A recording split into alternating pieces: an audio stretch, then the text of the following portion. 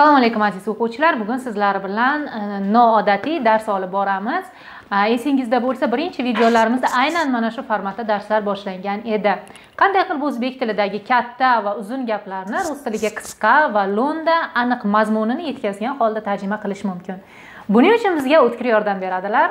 Marhamat hammaga salom sizlarni ko'rib turganimdan xursandman eslaringda bo'lsa именно mana shu formatda darsi birinchi olgan video mana shunday mana shunday formatda edi darsimiz bugungi darsimiz shu beseda muhokama ta- tarzida bo'ladi biz sitora bilan shu darsni qaytadan chiqarishga harakat qaror qildik chunki именно mana shu formatdagi dars ko'plarga yordam именно tarjima qilishda в общем boshladik bo'lsa короче san o'zbekchaga aytasan e, man ruschasiga Хорошо. давай.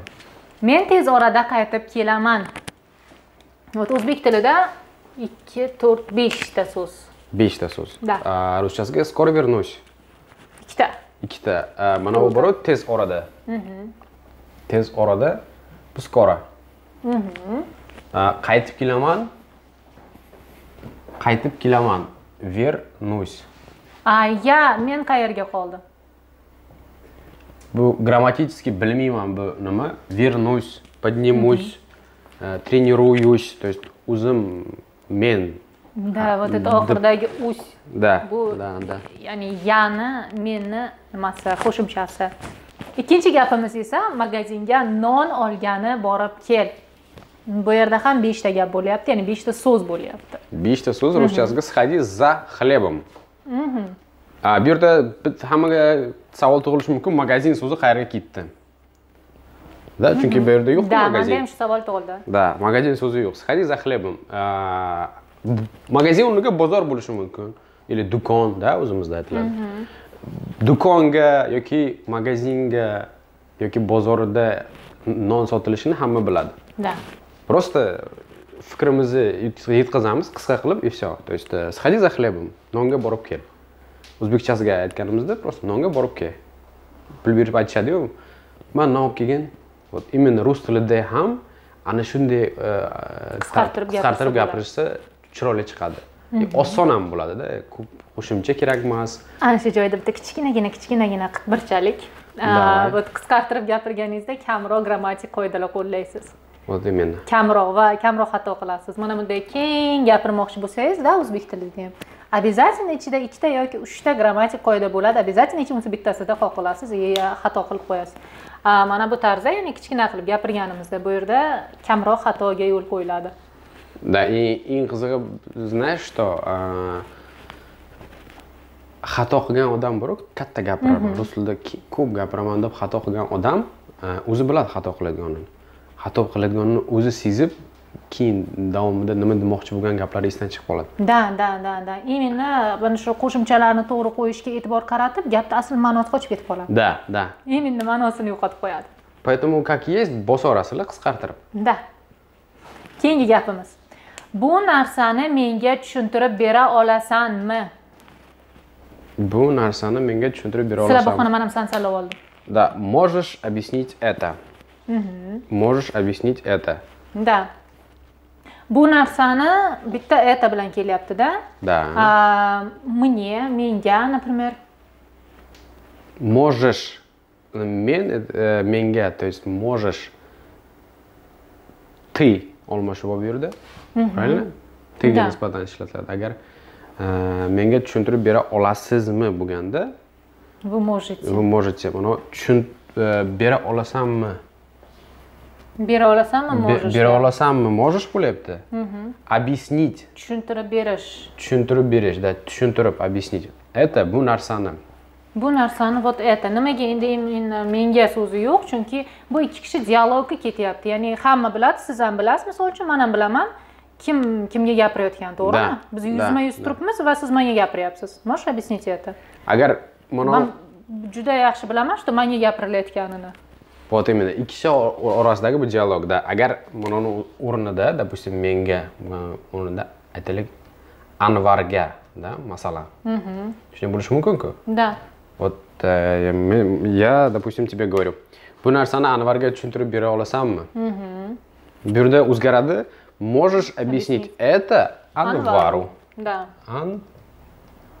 anva chunki u Ru. yo'q yonimizda mana u qo'shimchasi ga nimasini beradi bilasizlar uni ko'plaring падежlarni ko'rgan bo'lsanglar tushunasizlar в общем keyingisi подожди bir sekund kechirasiz bir ikki uch to'rt besh oltita so'z uchta so'zga aylanyapti да да bu yerda agar o'zbekchasiga tarjima qilsak so'z narsani это narsa narsa nima edi Вещь. вещь вещь это вещь menga Мне. мне tushuntirib объяснить объяснить bera olasan bera olasan можешь. можешь dать berish borku mana ber ha bu ber so'zi дашь объяснение? Да ber so'zi yoki dach bo'lib ketadi yo dash bo'ladi endi bolalarni nimasidada tarjima qilish usulida ular googlega kirib bitta bitta so'z urishtira- urishtiradi короче oxirida nima demoqchi bo'lganligi google переводчик orqali o'zini fikrini aytadi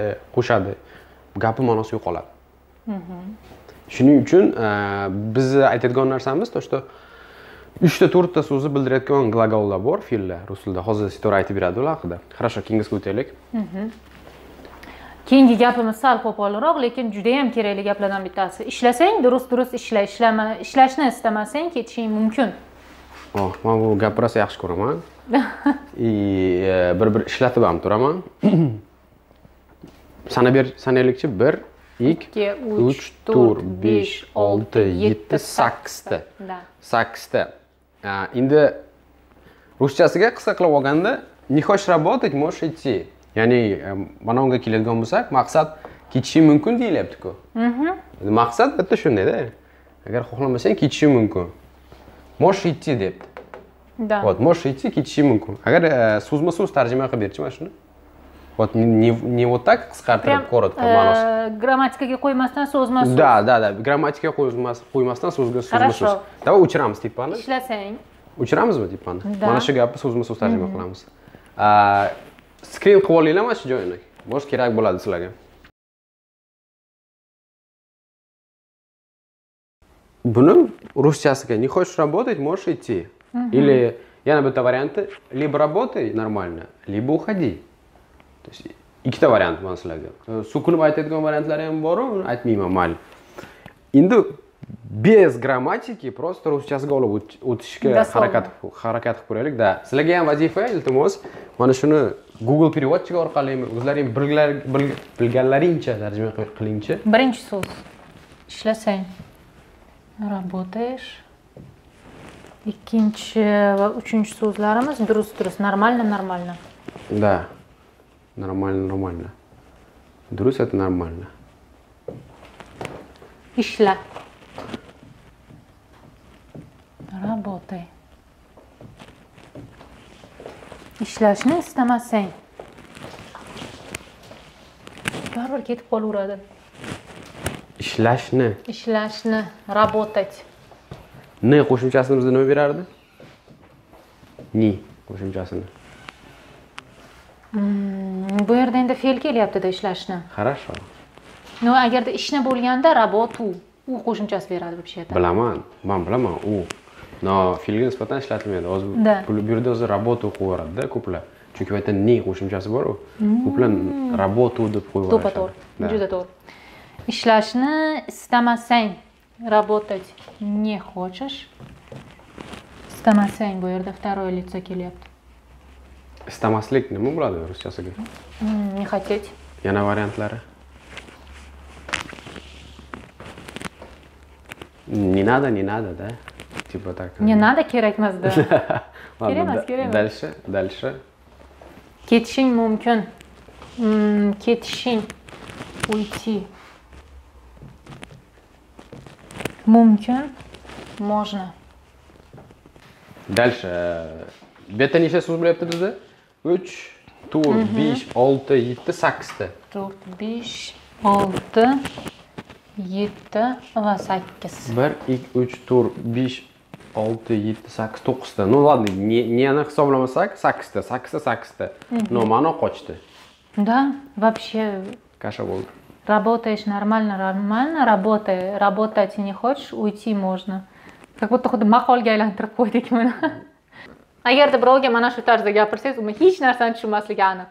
да yana bu yerda e, e'tibor bersang agar kamgina jahl bilan baland ovozda aytilyaptida bu Da, gap da, emotsiya bildirilyapti. emotsiya bildirib mana shunday kasha qilib aytsak Emotsiya ham yo'q bo'ladi-da. ana shu yerda urush bo'ladi Da. yuz foiz urush bo'ladi E, mani sizlarga bitta kichkinagina maslahatim bitta kichkinagina sizlarga layf hak agar tarjima qilishni xohlasangiz rus tilida har doim e, gapni oxiridan boshlab tarjima qiling. Da. Juda ham to'g'ri. gapni oxiridan. Ketishing mumkin. Можешь идти если не хочешь работать. Uni aylantirsa ham bo'ladi. E, man buni endi ma'nosini shunday olib tarjima qilib qo'ydim. Но sizlarga taklifim oxiridan boshlab tarjima qilib boring har doim.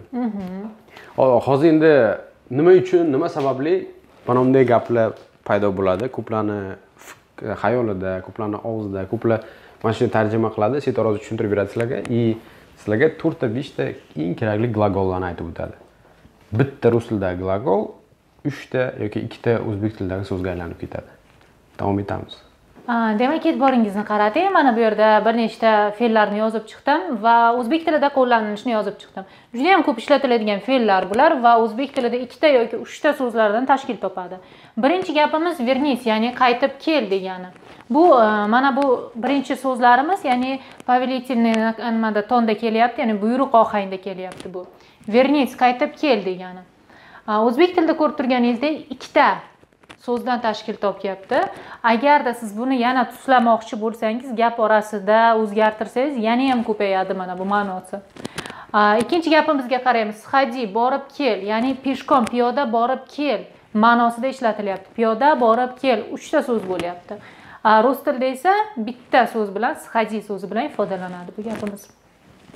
Va keyingisi mashinada borib kel. Вот farqini ko'ryapsizda. Sходи bu piyoda borib kelish съезди mashinada borib kel degani bu ham buyruq ohangida ishlatilyapti keyingi gapimiz esa o'ylab ko'r подумай o'ylab ko'r ikkita so'z rus tiliga bitta bo'lib o'tyapti keyingi so'zimiz esa kech qolib kelish А, uchta so'z kech qolib kelish рус rus tiliga aytadigan bo'lsak опаздывать bitta so'z bilan o'tadi ya'ni bitta so'z bilan ifodalashimiz mumkin mana shu uchta so'zni va oxirgi so'zimiz жаловаться e'tiroz bildirish yoki shikoyat bildirish жаловаться. Bitta so'z bilan aytishingiz mumkin hozir nega biz aynan mana shunday fe'llarni ko'rsatdik va fe'llar nima uchun kerak fe'llar rus tilida aynan siz nima demoqchi ekanligingizni точно va четко yetkazib beradi aniq va lo'nda qilib agarda fe'l bilmasangiz va fe'lni ishtirok ettirmasdan gapirsangiz unda juda yam qiynalasiz gapirishda va nima demoqchiligingizni to'liqligicha yetkazib bera olmaysiz mana shuning uchun ham sizga fe'llar va fe'llarni to'g'ri qo'llanilishini o'rganib olish juda ham muhim. Sizga vazifa qilib ya'ni mana bu fe'llarni albatta qo'llanilishini yozishingizni beraman. Ya'ni siz mana shu fe'llarga gaplar tuzib yozishingiz kerak bo'ladi. O'ylaymanki sizga mavzuyimiz tushunarli bo'ldi. O'z fikrlaringizni qoldirishingiz mumkin. Biz esa keyingi darsgacha xayr deb qolamiz.